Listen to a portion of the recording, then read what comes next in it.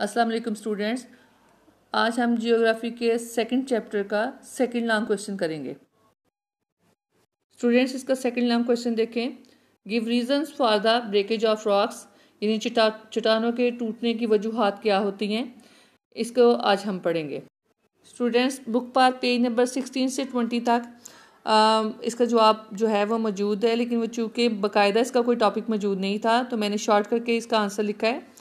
वो आपने नोट भी करना लिखना भी है और समझना भी है। तो ये स्टार्ट करते ये देखिए, इसका यहाँ से स्टार्ट होगा। इसका पहला पॉइंट है when water enters in the joints चूँकि ये क्वेश्चन हम पढ़ रहे हैं कि वो जो रॉक्स हैं, उनकी ब्रेकेज वो किस रीजंस की वजह से टूटती हैं। तो ये पहला रीज़न है कि जब पानी जो है वो किसकी जॉइंट्स में आता है? यानी कि जो चट्टाने हैं उनके जॉइंट्स में आता है। Cracks and holes of rocks यानी जो चट्टानों के में दराड़ें और सुराख पड़ते हैं इट फ्रीज एंड एक्सपेंड वो उसे कराती हैं और फैलाती हैं। इट रिज़ल्ट जिसके नतीजे में in the shattering of rocks shattering का मतलब होता है बेतरतीब होना या ख़त्म हो जाना, तबाह हो जाना।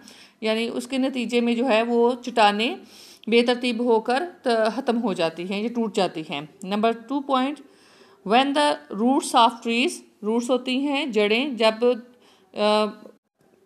चट्टानों पर जो दरख्त होते हैं, उनकी जो जड़ें हैं एंड बुशेस और उनकी एंड बुशेस और शाहें reach the cracks and joints of rocks चट्टानों की दराड़ों और जॉइंट्स तक पहुँचते हैं। क्या पहुँचते हैं? दरख्तों की रूट्स एंड बुशेस दरख्तों की जड़ें और उसकी शाहें।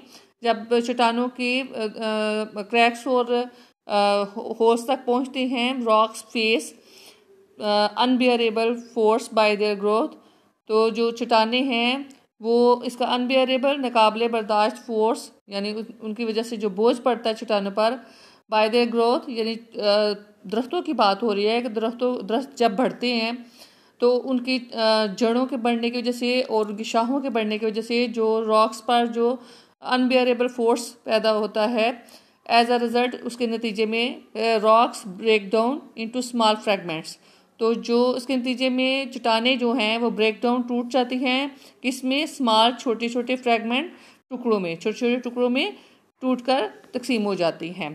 थर्ड पार्ट थर्ड पॉइंट है इसका डिफरेंट काइंड ऑफ़ एनिमल्स बहुत सी किस्मों के जानवर लाइक जैसे कि रैट्स चूहे rabbit insects ants and termites खरगोश, हशरात, चूंटियाँ और धीमक make holes in the rocks चट्टानों में सुराख बनाते हैं। बाय दिस प्रोसेस इस अमल के नतीजे में रॉक्स गेट वीकेंड चट्टानें कमज़ोर हो जाती हैं एंड ब्रेक डाउन और टूट जाती हैं।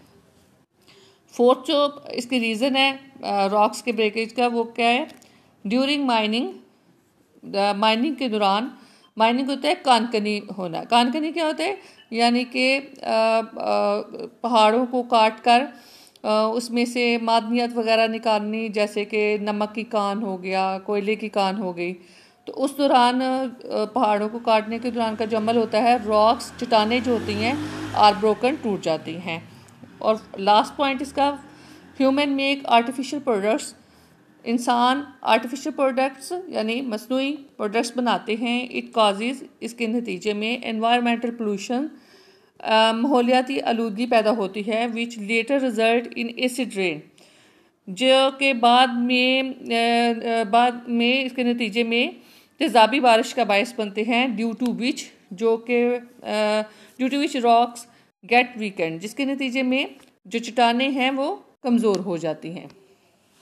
स्टूडेंट्स ये आज आपका सबक है। इसको आपने कॉपीज़ पर लिखना भी है और आपने इसको याद भी करना है। अल्लाह हाफिज़।